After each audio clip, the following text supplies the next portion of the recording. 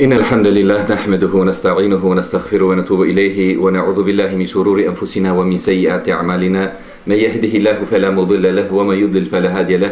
وأشهد لا إله إلا الله وحده لا شريك له. وأشهد أن محمدا عبده ورسوله صلى الله تعالى عليه وعلى آله وصحبه وسلم.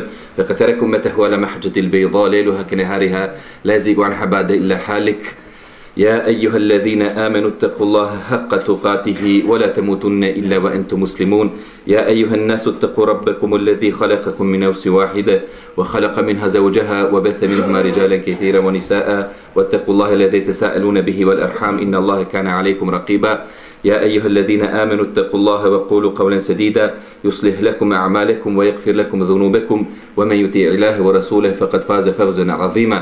فإن أصدق الحديث كتاب الله. وخير الهدي هدي محمد صلى الله عليه وسلم وشر الأمور محدثاتها وكل محدثة بدعة وكل بدعة ضلالة وكل ضلالة في النار Poslije zahvala Allahu subhanahu wa ta'ala i pošto smo donijeli salavat i selam na našeg posljednjeg poslanika i miljenika Muhammeda sallallahu alaihi wa sallam draga braćo i poštovane sestre salamu alaikum wa rahmetullahi wa barakatuh prije nego što uđemo i počnemo sa temom koja je naglašena i koja je najavljena htio sam da nas spomenem jednu jako važnu stvar. E, mnogobrojni su tekstovi Kur'ana i Sunneta koje govore o važnosti i vrijednosti znanja i učenih i o tome smo mnogo, mnogo puta govorili i te tekstove smo često citirali.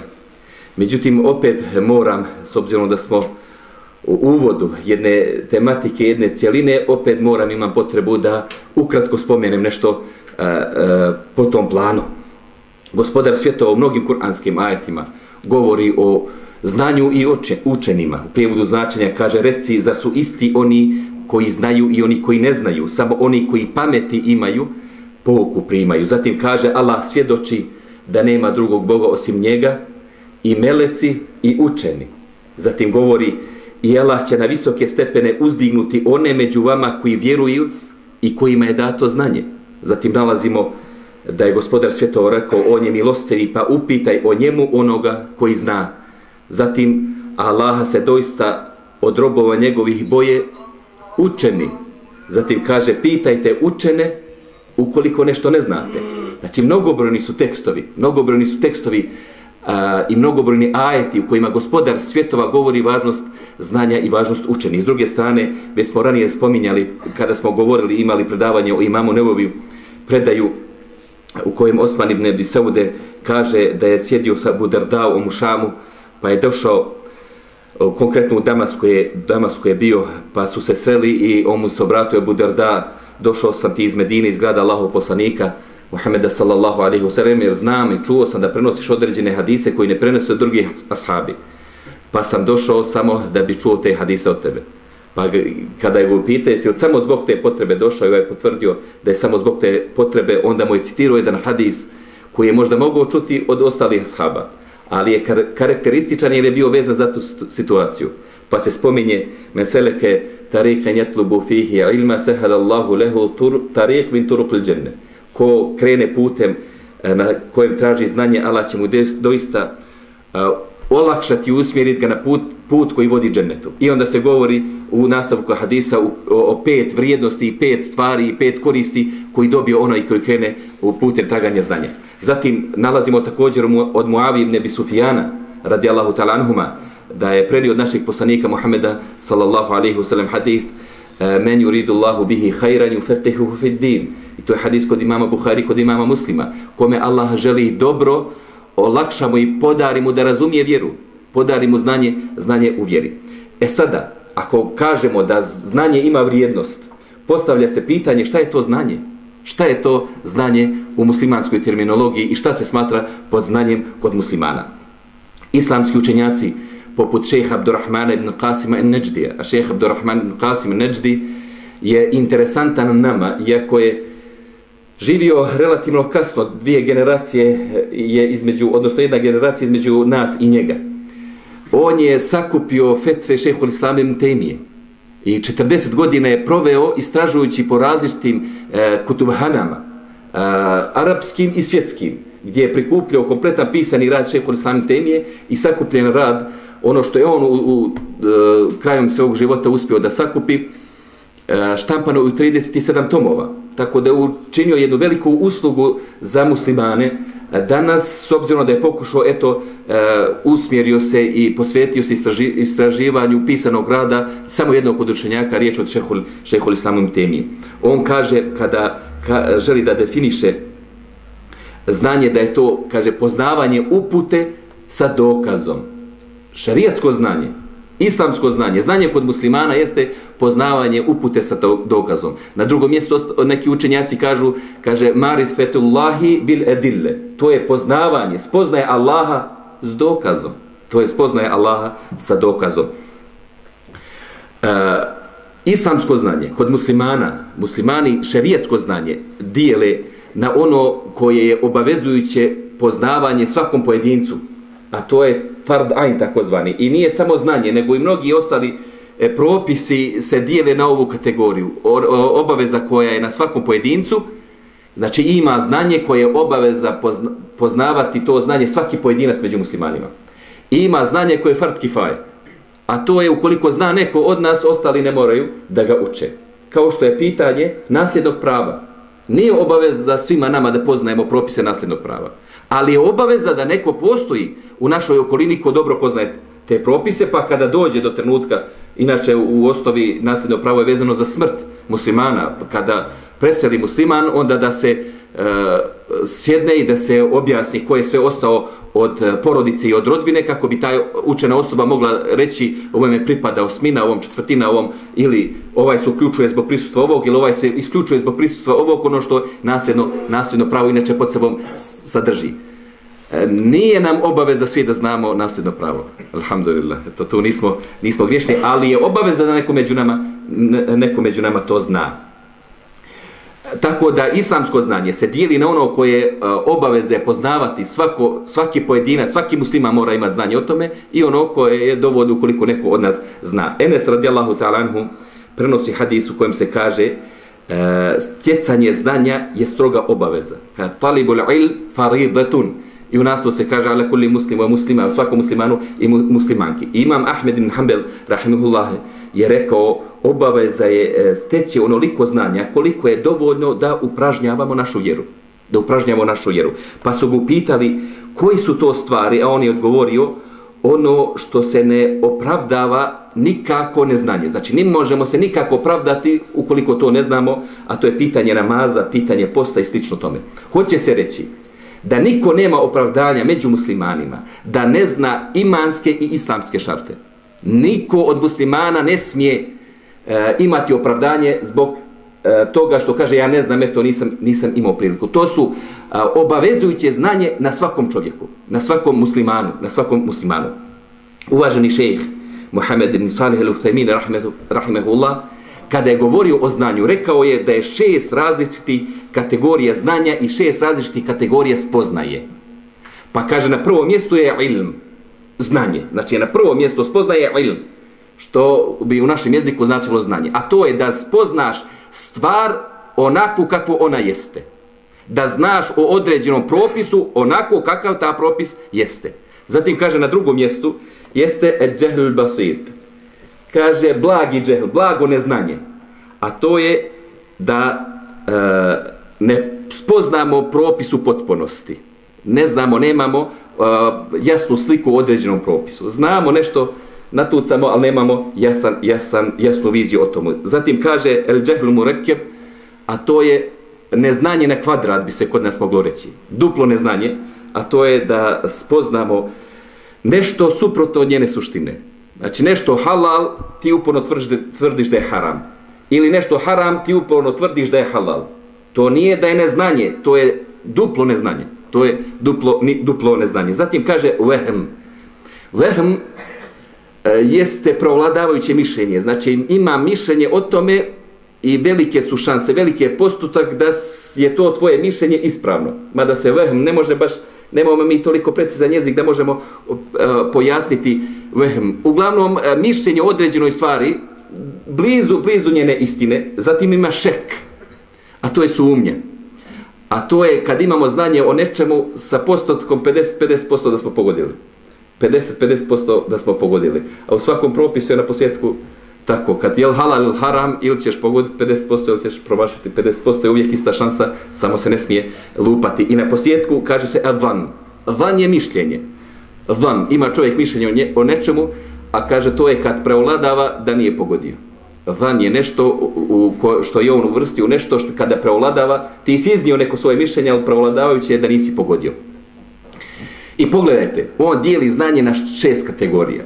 Sad, ako pogledamo i e, analiziramo naše znanje o vjeri, vidjet ćemo da smo bliže ovim donjim nego ovim gornjim stvarima. Da velike stvari i mnoge stvari po pitanju poznavanja naše vjere su dosta taj vehm, sve nešto e, imamo neko mišljenje, imamo o tome neku predstavu, ali ništa precizno i ništa, ništa jasno, da ne spominjemo sa, sa dokazom.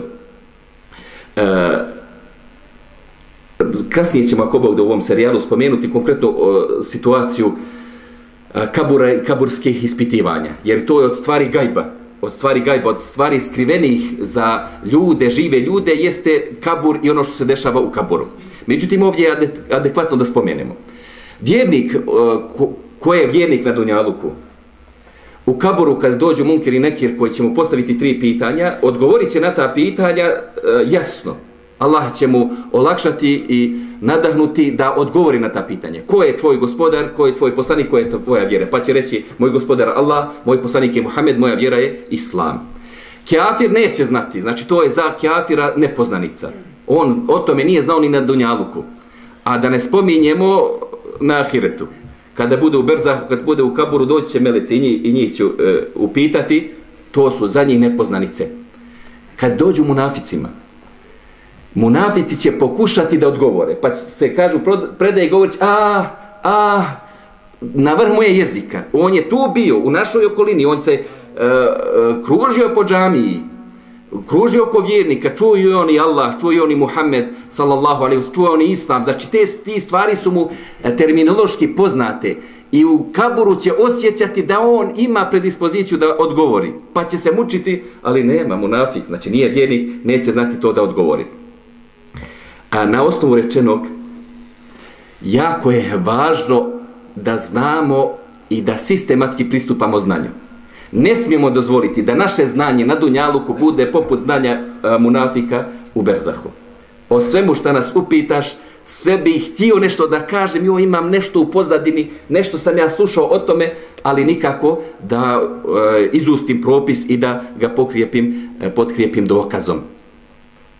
Zato je jako, jako važno da u našim predavanjima uh, određenim tematikama priđemo sistematski, da priđemo sistematski, odnosno da izučavamo Allahu subhanahu wa ta'ala vjeru tematski, gdje bi obrađivali jednu temu, obrađivali bi jednu knjigu, obrađivali bi jednu oblast i onda znamo, po pitanju te stvari, prešao sam knjigu od korice do korice prokomentarisali su mi je, pa sam ja imao priliku da je pročitam ponovno i uvijek povremeno da se, da se povratim na te informacije. Jer mnoštvo predavanja koje je dostupno uh, svjesnoj muslimanskoj omladini uh, uh, u tom posljeratnom periodu, nekada nas zamaje možda od, od suštine. Znanju se mora prići studiozno i mora se znanju prići sistematski E, mnogo predavanja smo saslušali, ali na posjetku kada želimo da objasnimo šta smo naučili, vidimo da tu ima manjkavosti. Prije svega, kada govorimo o islamskom znanju, rekli smo da je to poznavanje i islamskih i imanskih šarta. Da znamo šta su to islamski i imanske šarte.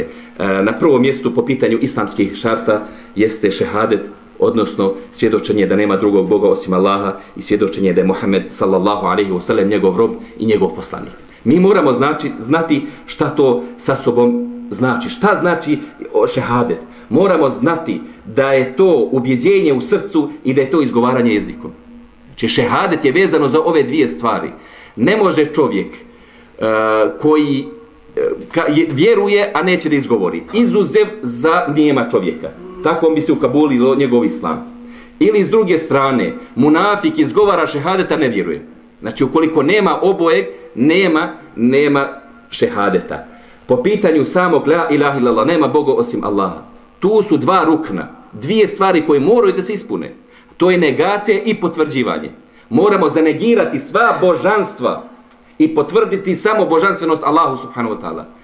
Dva rukna u la ilaha illallah. Ukoliko i nema, nema ni la ilaha illallah. E, zato je interesantno kad govorimo o negaciji i potvrđivanju, oni koji vole optimistički da gledaju na davu, kažu da su zbog toga ateisti jako adekvatni za e, islam, jako su adekvatni za poziv u islam, kažu oni imaju jedan rukn od šehadeta, od la ilaha illallah samo im treba drugi rukn, kaže negiraju božanstva, samo još da potvrde Allaha subhanahu wa ta'ala za svog Boga i znači bliž, blizu su blizu su islama. Naravno ispravno je da su kršćani bliži, bliži muslimanima nego što ateisti. Ali eto samo kažem ko želi pozitivistički da gleda na svoje okruženje. S druge strane ako kažemo da ima dva rukna e, šehadet la ilaha illallah nema Boga osim Allaha ima i svojih e, šest e, šartova koji su spomenute u odnosno sedam šartova koji su spomenute u jednom spjevu i nekada je šerijatsko znanje najlakše učiti preko arapskog pjesništva, preko arapskog pjesništva, pogotovo kad treba nabrojati puno, puno stvari. I tako je u arapskom jeziku opjevanje e, stih u kojem su spomenute svih ovih sedam šartova. Jer la ilaha illallah je ključ od dženneta i to nema razilaženja kod muslimana. Svaki ključ ima svoje zubce. Zubci ključa džennetskog su ovih sedam zubaca. Sedam e, šartova la ilaha illallah. Pa pjesnik kaže el ilmu wal yaqinu wal qabulu wal qiyadu wa ma aqulu. U ovom stihu on spominje četiri, četiri stvari. A zatim kaže u sljedeću wasidqu wal ikhlasu wal mahabba wa Allahu lima ahabbe. Znači ova dva stiha svih sedam je spomenuta e, šartova la ilaha illallah. S čim se nešto rimuje, daleko je lakše zapamtiti.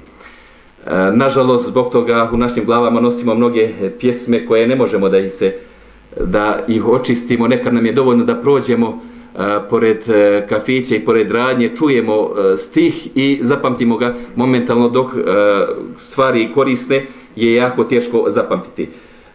Hvala Allahu i kod nas se budi taj dio književnosti, islamske književnosti, gdje određene daje pokušavaju uh, da kroz stih opjevaju određene važne stvari. I tu i posebno prednjači e, naš šejh Amir Durmić iz Krajišnik, iz Ljute krajine. E, stvarno po pitanju kalema, po pitanju spjeva i po pitanju tekstova možda je među najjačim, najjačim našim olovkama, među najjačim našim kalemima u, u Bosni i Hercegovini. Allah molim da, da ga pomogne. U ovom se stihu spominje na prvo mjesto ilm, znanje.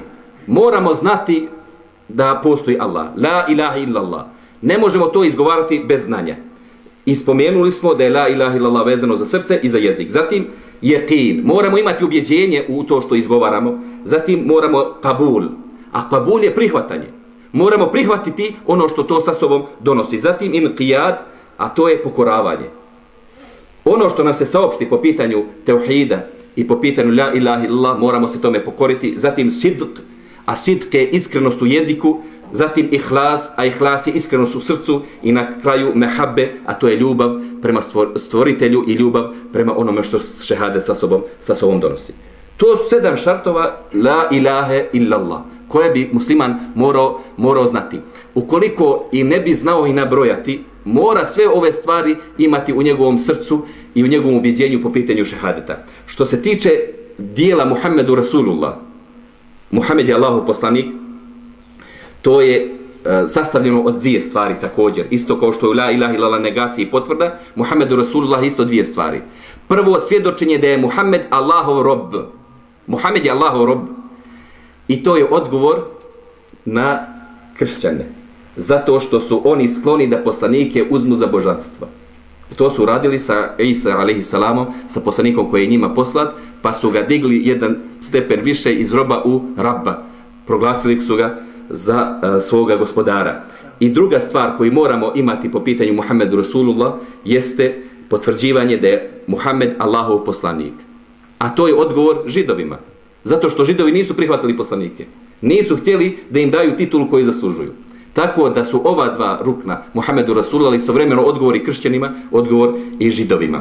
Vjer, vjerovanju poslanika Muhammeda sallallahu alaihi wasallam, isto kao što smo rekli da ima sedam uh, šartova uh, la ilaha illallah, ima sedam stvari koji se moraju ispuniti po pitanju priznavanja da je Muhammed Allah poslanik. Sedam stvari koje moramo ispuniti, a to je da vjerujemo u sve ono što nas je on obavijestio. Moramo vjerovati sve ono što je došlo vjerodostojno od našeg poslanika Muhameda sallallahu alaihi wa sallam. Moramo E, se pokoriti njegovim naredbama bez imalo dvojbe. Bez imalo dvojbe. Ne traži se od nas da isključimo mozak. Međutim, ukoliko nešto dođe vjerodostojno od našeg poslanika Muhameda sallallahu alaihi wasallam, mi ćemo se pokoriti tome. A usput ćemo pokušati da dokučimo šta je mudrost toga. Za razliku od određenih modernista, u muslimanskim redovima koji postavljaju ukoliko razumije zbog čega je propisano on se pokori. Ukoliko to ne razumije ne pokori se. Znači to je jedno jako opasna opasna stvar. Ne tražimo da se isključi mozak samo tražimo da se najprije pokorimo a kasnije znači u tom, tokom tog pokoravanja da pokušavamo doći do zaključka Uh, za šta je mudrost, šta je mudrost od tog propisa koje nam dolazi od našeg poslanika Muhameda sallallahu alaihi wa sallam. Zatim treća stvar koja se mora ispuniti jeste udaljavanje od onoga što je zabranio Muhammed sallallahu alaihi wa sallam. Znači moramo se pokoriti onome što je naredio, moramo se udaljiti od onoga što je zabranio, zatim ne smijemo davati prijednost ničijem govoru nad govorom poslanika Muhammeda sallallahu alaihi wa sallam i u tom kontekstu je od Abdullah ibn Abbasa e, prenijeto. Kada bojim se, strahujem za vas da će vas E, kamenje s neba pogoditi. Ja govorim, rekao Allah i rekao Allah poslanika, vi govorite, rekao Ebu Bekru i rekao Omer. Ako Ebu Bekru i Omeru se ne daje prijednost nad poslanikom, iako su najvrijedniji ljudi u umetu, onda šta je sa ostalim? Šta je sa određenim uh, kvazi autoritetima i određenim uh, sihribazima, mada se danas daje prijednost ne vjerskim autoritetima, nego se daje prijednost novinaru. Dođe novinar i napiše neku zaključak svoj, analizira ne, neko stanje. I da naš narod, naš čitaoc daja prijednost novini i novinaru odnosno na ono što je rekao naš poslanik Muhammed sallallahu alejhi ve sellem. To je, to je ahiru, ahiru zeman. Zatim, da se po pitanju Allahove vjere ne uvodi ništa novo u nju, ne smijemo inovirati ništa uh, u nju, uh, izuzev onoga, moramo se samo držati onoga što je došao naš poslanik sallallahu alaihi wasallam. Zatim moramo vjerovati, šesta stvar je da moramo vjerovati da naš poslanik Muhammed sallallahu alaihi wasallam nema učešća u rububijetu po pitanju stvaranja, nema Allahu poslanik Muhammed sallallahu alejhi ve sellem nikakvog učešća. To je ono što pripada samo Allahu subhanahu wa ta'ala, a to je prisutno kod nekih e, sekti, ne možemo ih čak reći ni muslimanski sekti jer zbog toga su izašli iz islama, pa upućuju dovu Muhammedu i traže od njega e, kišu, traže od njega dijete ili ono što što su u potrebi. Zatim posljednja stvar po pitanju vjerovanja u Muhammeda sallallahu alejhi ve sellem jeste poštovanje poslanikovog govora poštovanje poslanikovog govora. Tokom njegovog života je bio propis da se ne smije dizati glas iznad poslanikovog glasa. I ako je poznat, o tome smo govorili e, komentaru događaju sa Thabit ibn Qaisom radijallahu ta'ala anhu, kada je došla objava ajeta u kojem se zabranio vjernicima da dižu glas iznad poslanikovog glasa kako ih ne bi e, nestali i pobrisana bila njihova dobra djela. To je tokom njegovog života i to je tokom boravka u poslanikovoj džami danas i dan danas propis ostao. Međutim, kada čujemo da neko citira hadis našeg poslanika Muhammeda sallallahu alejhi ve sellem trebamo ispoštovati taj govor. I ne smijemo ulaziti i prekidati. Moramo imati respekta moramo imati respekta prema literaturi koja držu sadržava u sebi vjerodostojne hadise našeg poslanika Muhammeda sallallahu alejhi ve sellem a na na posjetku centralna stvar jeste da moramo primjenjivati i moramo upražnjavati ono što je došlo od poslanikovog govora što je prenijeto do nas. To je šehadet prvi islamski šart. Što se tiče obavljanja namaza, mi moramo izvršavati ruknove namaza, kojih je pet, moramo, e, odnosno šartova je pet, a šartov je nešto što prethodi samom dijelu. Moramo zatim izvršavati svih 12 ruknova, moramo izvršavati vađibe i moramo izvršavati sunete kojih je, kojih je mnogo. I to pet puta dnevno.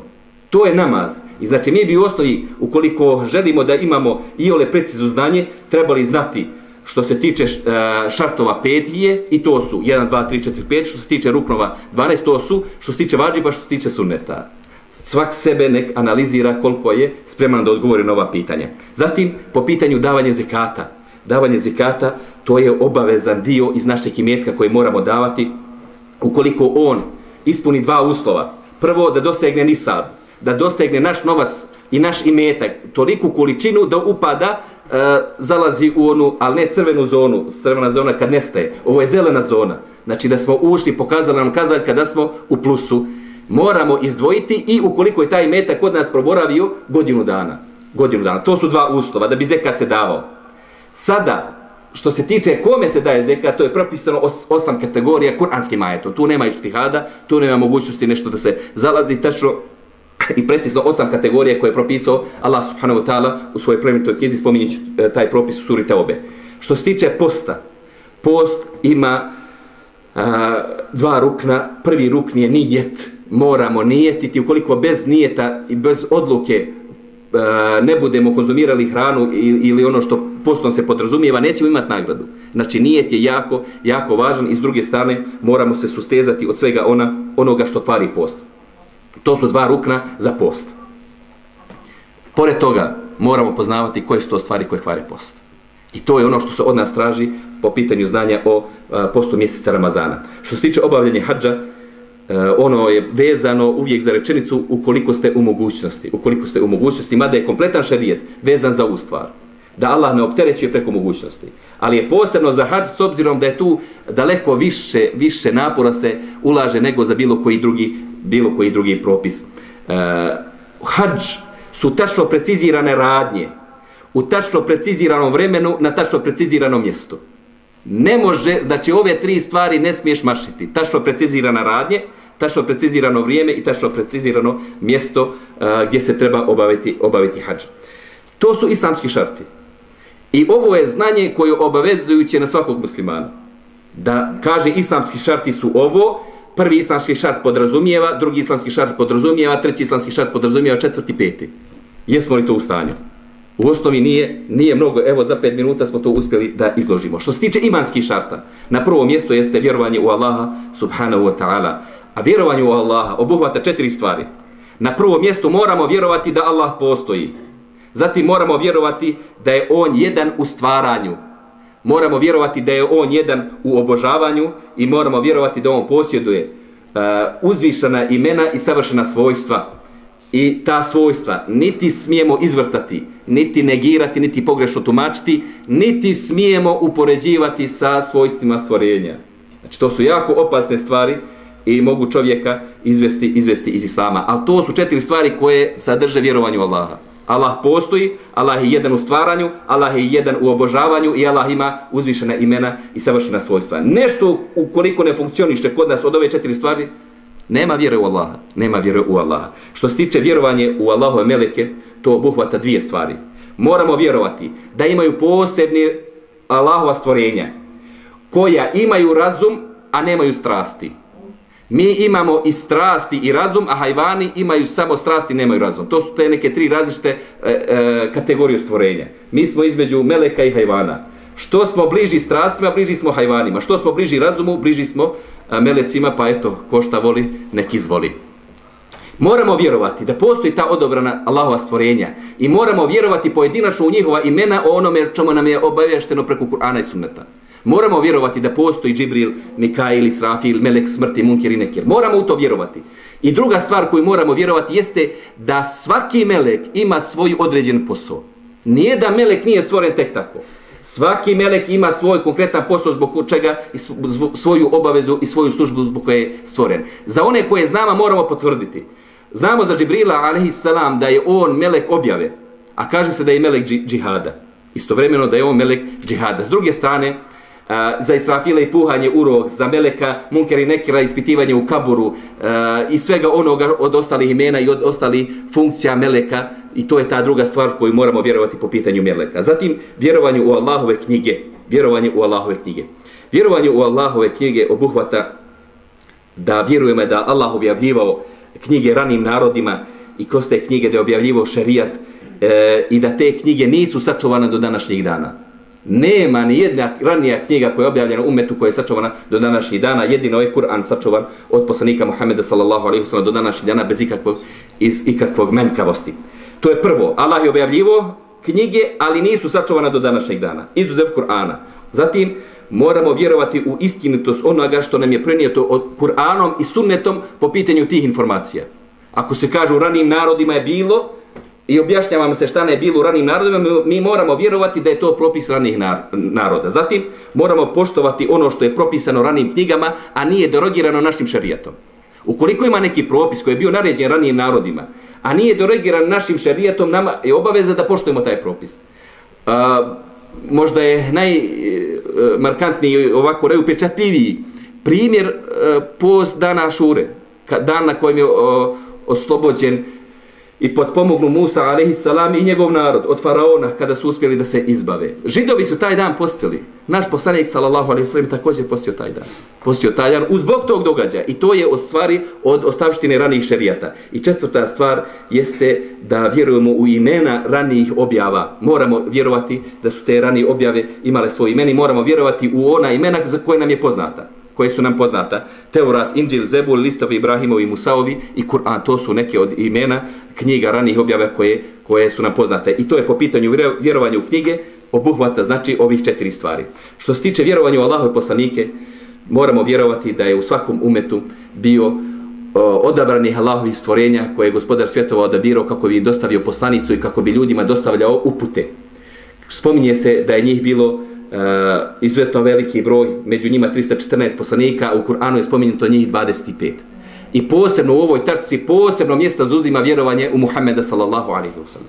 Znači posebno obuhvata vjerovanje u Muhammeda sallallahu alaihi wa sallam. Što se tiče petog imanskog šarta, to je vjerovanje u sudnji dan, on obuhvata četiri stvari. Na prvo mjesto moramo vjerovati da postoji berzah, postoji kabur i postoji kabursko iskušenja, kazne i blagodati.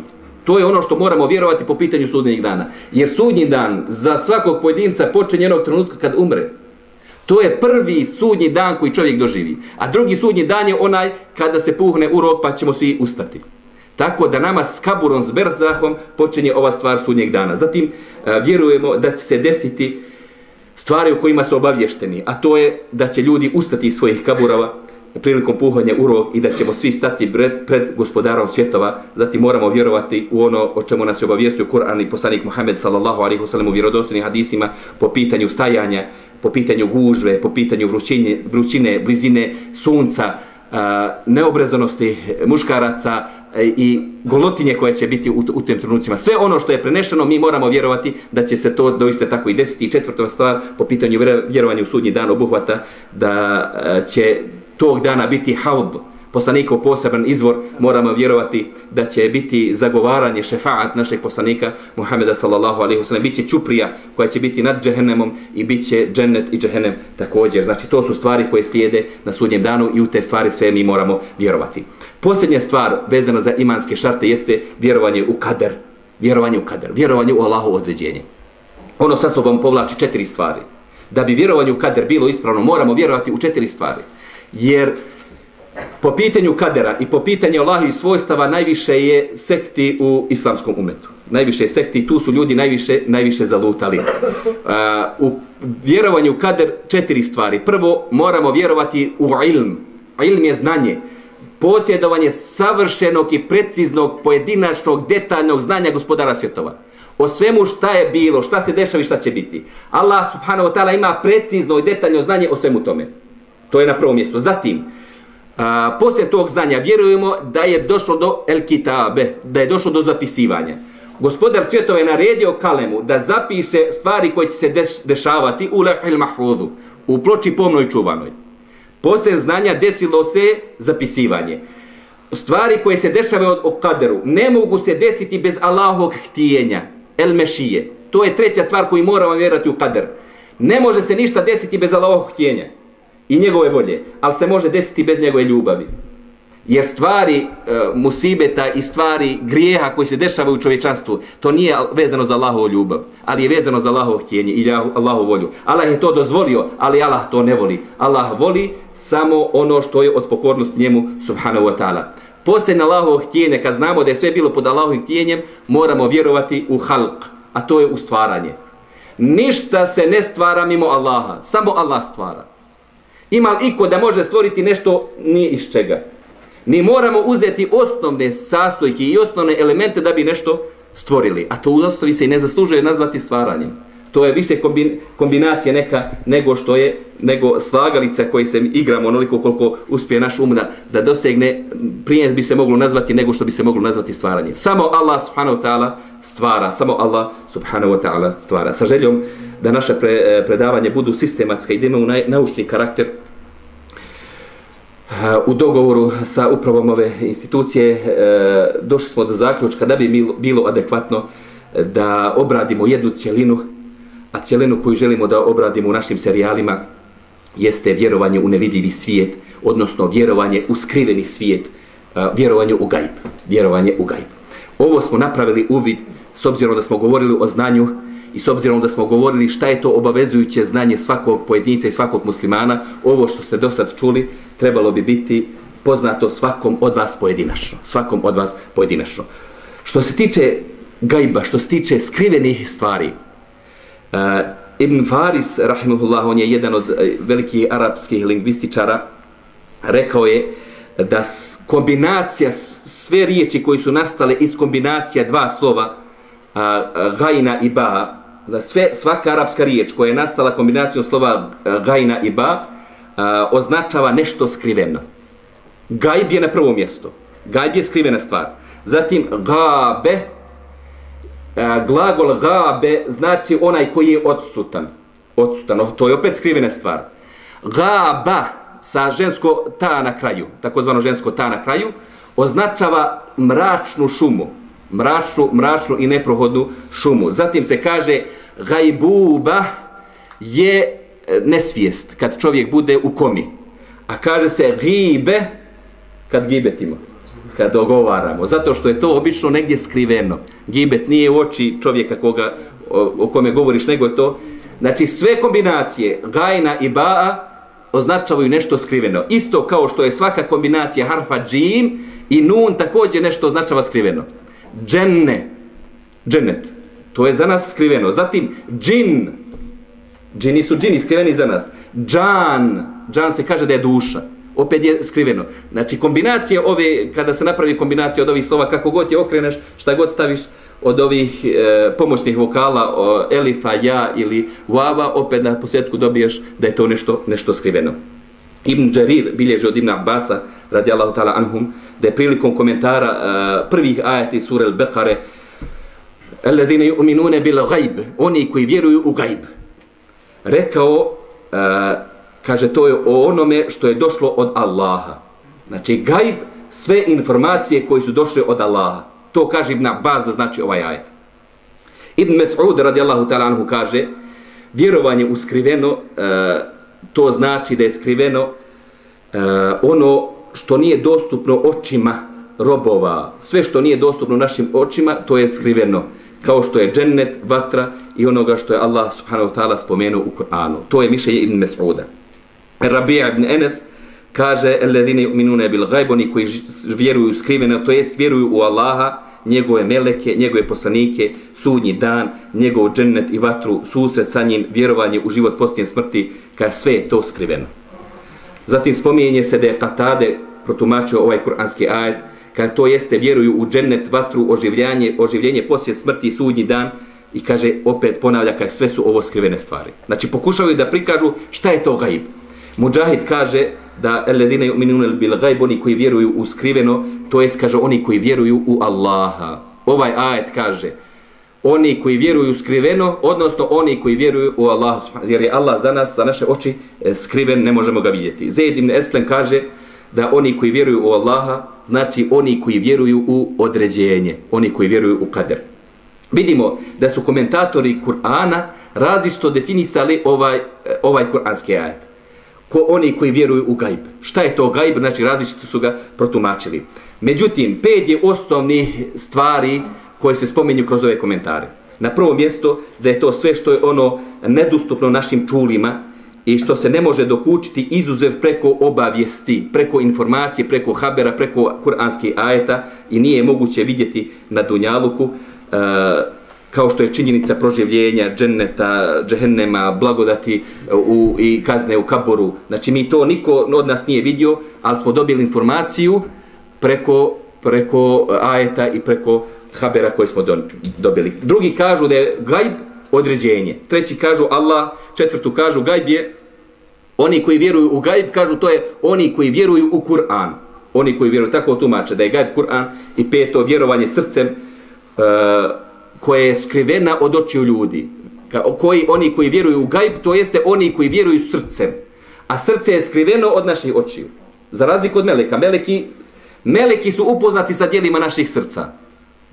Meleki su upoznati sa dijelima naših srca. Pa ukoliko osjetimo strah ili nadu prema Allahu subhanahu wa ta'ala, meleci to uspjevaju da vide i da zapišu. To ljudima, mi jedno drugom, ne uspijemo to, to vidjeti. Mada eto, u zadnje vrijeme su se pojavili neki instrumenti koji ljudima daju mogućnost da govore ti si vjernik, ti si nevjernik, ti si munafik, ti si... Uspjeli smo da dođemo do nekih otkrića izgleda, a vidjet ćemo kako će nas ta kategorizacija dovesti i šta će nam omogućiti na sudnjem danu.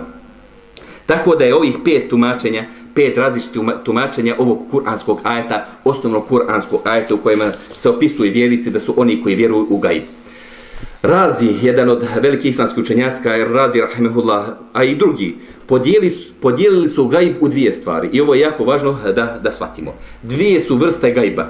Kaže, dio koji e, nam je u potpunosti nepoznat. Ima gajb koji nam je u potpunosti nepoznat i u tom značenju su riječi uzvišenog, u njega su ključevi svih tajni, samo i on zna. U suri El-An'am se spominje ovaj kuranski ajet, da gospodar svjetova, u njega su ključevi svih tajni, samo ih on zna. I kaže druga kategorija, e, druga kategorija vezana za dio o kojima smo obavješteni. E, stvari dženneta i džehennema, patnje džehennemske, to je za nas gajba stvar. Međutim, opisano nam je. Opisano nam je. Samim tim što je opisano, mi već imamo neku predstavu. Ako se govori džehennem i da se čovjek nalazi u, u džehennem i da su crijevo obmotana oko njega ili da je e, e, Abdul Muttalib na dvije džehennemske žeravice i da će mu mozak ključati Znači, koliko god mi bježali, ipak imamo neku predstavu. Čovjeka čije su noge na dvije žeravice i kako, znači imamo neku, neku predstavu. Gajb je, to su sve, samo naše pretpostavke. Međutim, djelimično smo upoznati u taj gajb. Gajb, e, zbog, e, ova, uh, zbog ovog pojašnjenja Eh, eh, pojma gajba, vidimo da, da ove stvari i ovi pojmovi samo dopunjavaju jedna, jedna drugu, a da to u osnovi vjerovanje u nevidljivo, vjerovanju u nevidljivo i onome što smo obavješteni Kur'anom i hadisom našeg poslanika Muhameda sallallahu alaihi wa sallam. Sada, mi govorimo o vjerovanju, govorimo o znanju, govorimo o gajbu. Tri su različite etape našeg vjerovanja u ove stvari. Prvo je ilmu lijeqin, a to je potpunosti ubjeđenje da će se ovo desiti i da se ove stvari dešavaju. A to je ilmu lijekinje, svako, svako znanje koje posjedujemo, a nismo vidjeli našim očima, niti smo osjetili našim čulima, već preko informacije. I većina znanja i većina informacija koje mi imamo, jeste na ovaj metod. Jeste na ovaj metod. Mi vjerujemo da postoji Australija, vjerujemo da postoji sunčan sistem, e, ne znam, mlječni put i kako se zovu ti pojmovi. Vjerujemo da postoje. Jesmo li ih vidjeli? Mnogi ove od ovih stvari nismo u životu, koje kengura nisam vidio uživo. Međutim, podosta sam ubijeđen da postoji. Znači, to su stvari koje, koje naravno, niko ne, ne govori da, da ne postoje. Nismo ih vidjeli. Dobili smo informaciju. Drugi svjetski rat nisam doživio. Vjerujem da je bio. Vjerujem čak i da je bila olimpijadu u Sarajevu. 84. Iako je teško zapovjerovati kako nam je u gostiteljstvu u Sarajevu, ali bila je olimpijada 84. Znači, mnoge stvari koje nismo mi učestvovali, vjerujemo, ne, znamo da su bile, nema tu sumnje, zato što smo o tome obavješteni. Obavješteni. Velika grupa ljudi nas o tome obavijestila. Po pitanju dženneta, po pitanju džehennema, po pitanju Allaha, Meleka, velika skupina ljudi nas je obavijestila. 124.000 ljudi nas je obavijestila ovim stvarima. Velika skupina ljudi, zašto nije dovoljno da vjerujemo? Međutim, to izgleda da za mnogima nije dovoljno. Tolike knjige dolazile, toliki poslanici dolazili.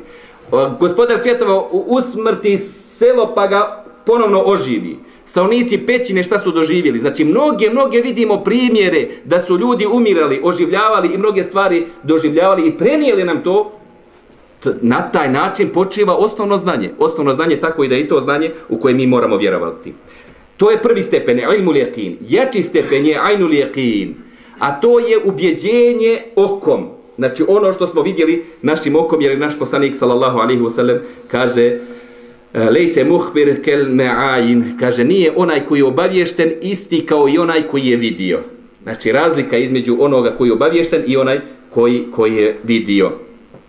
Tako da one stvari koje doživimo našim očima, e, i ko, u koje se ubijedimo našim očima, zove se ajnul jekin. Ajnul jekin. I treća kategorija jeste hakul jekin, a to je ono što doživimo našim tijelima i što doživimo našim čulima.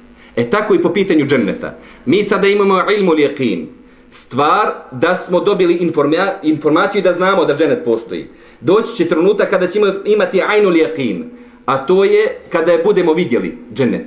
I treći inšala tala etapa, hakko ljekina, to je kad se ostvari ulazak u dženet onome kome Allah subhanahu wa ta'ala olakša, molim Allah subhanahu wa ta'ala da budemo od te, od te skupine. Kao djetetu kad kažeš, E, babo ti je donio čokoladu, mada rekao mu ne rekao, danas se djeca ne raduju čokoladama, moraš nešto daleko više. Jel on ima znanje, znači zna, dobio je čokoladu, pa dođe kući i vidi na sto ili natkastu sjedi čokolada, znači aha, sad ima aj, ajnu lijekir, vidio je čokoladu, a tek kad je zagrize, hakul jakin, stvarno je bila čokolada, stvarno je bila čokolada. To su te tri različite etape po pitanju naše spoznaje i po pitanju našeg e, znanja. Što se tiče vrsta skrivenog, vrsta skrivenog, to je centralna, centralna tema ovog našeg večerašnjih predavanja. Vrste skrivenog. Ukoliko budemo ovo razumjeli, a inša Allah razumijet ćemo, znači lakša nam je sve u budućnosti po pitanju razumijevanja znanja o gajbu. Prva je stvari e, koje su u potpunosti skrivene, gajbu mutlak se kaže na arapskom jeziku. Stvari koji su u potpunosti skrivene, a riječ je o stvarima koji su poznate samo Allahu i nikome drugome. Samo Allahu nikome drugome. I e, uh, gajbul mutlak istovremeno ima izraz ovog mefatihul gajb. I najčešće se vraća na pet stvari. Na pet stvari i to je posebno predavanje o kojima ćemo govoriti. I druga stvar jeste stvari koji su djelimično skrivene. A to je e, gajbu idafi ili gajbu nisbi. Znači, djelimično skrivene stvari, a riječ je o stvarima koji su, koje znaju neke od stvorenja.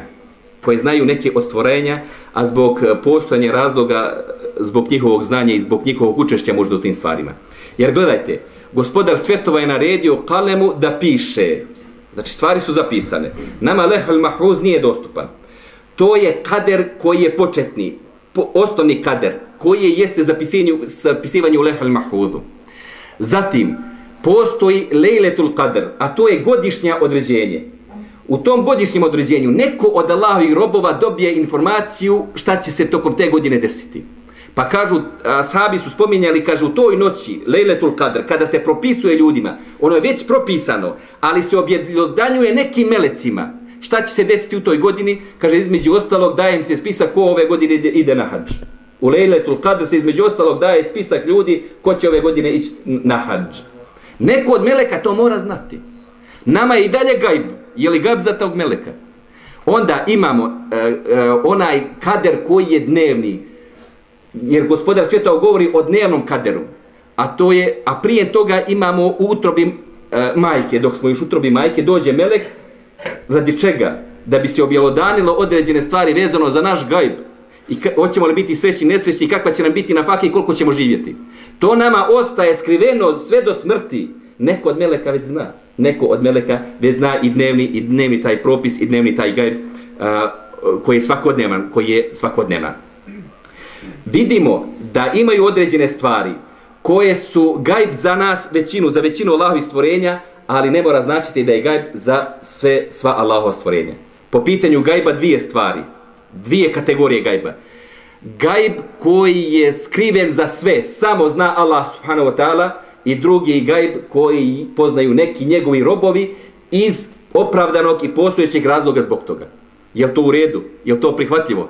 Nema u tome sektašanje jer možda možda malo liči na, na određena sufijska učenja. Zloupotreba je moguća. Znači zloupotreba je moguća. Ali ovdje govorimo o islamskom, islamskom znanju. Na ovu podjelu ukazuju sljedeći kuranski ajet. Kaže gospodar svijeta u suri Neml 65. ajet. Reci, niko osim Allaha, ni na nebu, ni na zemlji, ne zna šta će se dogoditi i oni ne znaju kada će oživljeni biti. To je ova ilmul mutlak. Niko, kaže, ne zna ni oni koji su na nebesima, ni oni koji su na zemlji, šta će se dogoditi. To je to precizno znanje koje posjeduje samo Allah subhanahu wa ta'ala i niko ne zna kada će mo biti oživljeni. Zatim drugom, drugom kuranskom ajetu u suri Lukman 34. ajet se kaže samo Allah zna kada će smak svijeta nastupiti. Prva stvar. I ovo je mefatihul gajb. Ključevi gajba. Pet stvari koje je poznato samo Allah subhanahu wa ta'ala. Samo Allah zna kada će smak svijeta nastupiti. Samo On spušta kišu. Znači tu nema niko, ne može učestvovati. Samo On zna šta je u matericama. Čovjek ne zna šta će sutra zaraditi i ne zna čovjek u kojoj će zemlji umrijeti. Allah u istinu sve zna i u svemu je obavješten. Ovo je ilmul mutlak, ilm koji je poznat samo Allahu subhanahu wa ta'ala. Onaj uh, gajbul idafi, odnosno uh, djelimišni gajb, koji je poznat nekim od robova, kaže gospodar svjetova u suru El-An'am 59. ajet. U njega su ključevi svih tajni, samo ih on zna, i on jedini zna šta je u kopnu i šta je u moru. I nijedan list ne opadne, a da on ne zna za njega. Jeste li kad vidjeli da pada list? Znači i mi imamo dio znanja, ali ovdje govori se o svakom listu. Ovdje se govori o svakom listu. Zatim, i nema zrna u tminama zemlje, niti ičeg e, svježeg, niti ičeg suhog, niti e, šta nije u zapisano u Allahovoj jasnoj knjizi.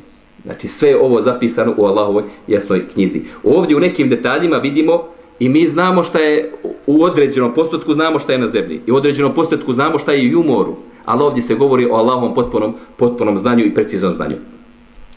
E, I mnogi su drugi kuranski ajati, Alu Imran 44. ajet, Hud 49. ajet i Jusuf 102. ajet isto govori o ovim stvarima koji su u stvari e, uh, gaib koji je djelimično poznat djelimično poznati nekim od njegovih, njegovih robova. E, da bismo dobili jasnu predstavu o pitanju gajba, u budućnosti, inšala ta'ala, podijelit ćemo govor o gajbu, o skrivenom u tri velike tematike, u tri velike cijeline. Na prvom mjestu jeste o vrstama gajba, pa ćemo posebno pojasniti ove dvije vrste gajba, a to je djelimični gajb i e, taj potpuni gajb. Što se tiče djelimičnog gajba, tu će biti jako važno da objasnimo šta je to ferasa, e, spomenuto je hadisima, da se treba bojati pronicljivosti vjernika jer on gleda Allahovim svjetlom. Šta je ta ferasa koja je spomenuta iz Omera radijalahu ta'ala? Kaže u mom, u svim umetima ranijim bilo je pronicljivih ljudi, ukoliko je iko iz mog umeta pronicljiv, to je Omer radijalahu ta'ala. Šta je to što ljudima, što muminima da rasu? Pa kad ga ujutro vidiš, prepoznaješ mu znake po licu da je sinoć bio u haramima. Jel to gajb? Ti ne znaš gdje on bio, ne znaš šta je radio, ali vidiš da mu je faca crna. Ili čovjeka kad vidiš sa svijetlim licem, kojeg sećeš u džamiju i ti si ubijeđen da je on noći provodio ibadetom. ibadetu. Ti ne znaš što je gajb, međutim ova firasa, jako će biti bitno da objasnimo šta je ova firasa. Zatim, šta je to vahij? Šta je to objava? objav, kome se objavljuje, na koji način se objavljuje i šta se od objave može, može dobiti. Zatim, šta je to ilham? Ilham to nadahnuće. I šta je na posljedku, e, zašto klanjamo istiharu? Klanjamo radi ilhama. Šta dobijemo time? Zalazimo li mi u gajb? I šta su na posljedku istiniti snovi? Sve su ovo teme vezane za gajb. Sve su ove teme vezane za gajb istinito snoviđenje. Pa na osnovu snova mi pokušamo da dokučimo šta će se desiti možda u bliskoj budućnosti. Zalazimo li mi u gajb? Zalazimo li mi na taj način u gajb? Zatim ćemo govoriti u sklopu ove vrste vjerovjesničko poznavanje gajba, poznavanje gajba od strane Meleka i zatim ćemo govoriti o propisu osobe koje za sebe tvrdi da zna gajb. I to je e, prisutno kod sihribaza, to je prisutno kod međioničara, to je prisutno kod sufija i to je prisutno kod rafidija. To je prisutno kod rafidija. I na posljedku kod ove teme ćemo govoriti o koristima, o koristima gajba.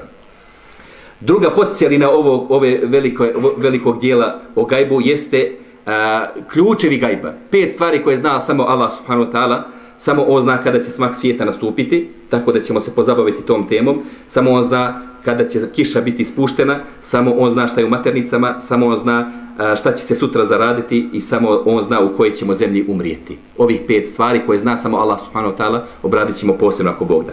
Zatim ćemo u drugoj cijelini predavanja u budućnosti govoriti o nevidljivim stvorenjima. O nevidljivim stvorenjima. Mi vjerujemo da postoji aš, Allah subhanahu wa ta'ala, pa ćemo pokušati u budućnosti objasniti kakav je, šta je, kako izgleda i na osnovu čega vjerujemo u njega. Zatim vjerujemo da postoji kursi. Šta je kursi, zašto on služi, kako izgleda, kolika je njegova veličina, betul izze, betul me'mur, šta je to duša, isto je to skrivena stvar, šta su meleci, šta su džini, šta je berzah, šta je dženet i šta je džehennem. Sve su to skrivena stvorenja u koje mi vjerujemo da postoji. Pa ćemo inša Allah se pozabaviti njima i nakaj govorit ćemo o predajama iz prošlosti koje govore o budućnosti. Predajama iz prošlosti koje govore o budućnosti, pa ćemo govoriti o tehnološkim ostvarenjima pred, prez, kao preznacima sudnjime dana, zatim ćemo govoriti o najavljenim preznacima koji su se ostvarili, o najavljenim malim preznacima koji se tek treba ostvariti i govorit ćemo o deset velikih preznata, preznaka sudnjeg dana, a na posljedku ćemo govoriti o koristima koje su po pitanju vjerovanje, vjerovanja u preznake sudnjeg dana. Uz Allaho pomoć nismo ograničeni e, brojem predavanja, tako da ćemo sebi uzeti onoliko koliko treba. Pokušat ćemo da e, ne bude dužina predavanja više od jednog školskog časa, znači 45 do 50 minuta kako bi se moglo to savladati, a uz Allahu pomoć velike su šanse da na kraj serijala izađe i knjiga a, koja će obuhvatiti sve ove cijeline kako biste imali priručnik kući ukoliko budete sutra a, čitali sa svojim suprugama ili sa svojim djecom što bi bilo izuzetno korisno, a na posljedku da bude jedna knjiga koja je obuhvatila samo pitanje gajba, Eh, sama po sebi kao cijelina mislim da bi bilo korisno za naša biblioteke s obzirom da nemamo nemamo na tu tematiku kao posebno poseban dio Allah subhanahu wa ta'ala molim da u Kabuli i, i, da, i da olakša. To je po pitanju našeg uvodnog predavanja gdje sam samo htio da naglasim važnost znanja i šta u stvari znanje predstavlja znači poznavanje vjere sa delilom, sa dokazom, poznavanje Allah subhanahu wa ta'ala sa dokazom, objasnili smo is imanski islamske šarte i šta bi to u osnovi trebalo da predstavlja po pitanju našeg znanja o tome šta moramo znati po pitanju toga i uzeli smo uvod u vjerovanje u nevidljiv svijet, u skriveni svijet. Sa nadom inšala ta'ala da ćemo sljedeći put nastaviti. Allah subhanahu wa ta'ala molim da ukaboli ovo što smo dosta uradili da nam olakša da završimo ono što smo počeli jer Allah je taj koji olakšava i koji podari da dobra djela budu upotpunjena. Subhanika Allahumma wa bihamdika ashhadu an la ilaha illa ant astaghfiruka wa atubu ilayk.